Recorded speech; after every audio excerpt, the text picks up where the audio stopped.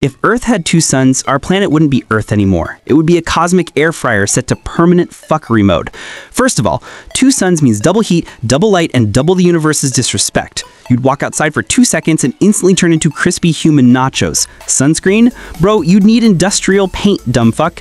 Second, nighttime? Haha, forget it. You think you have sleep problems now? Congratulations. With two suns, humans become 24 7 depressed, glowing zombies because the sky never goes dark. Good night becomes a myth like your New Year's resolutions.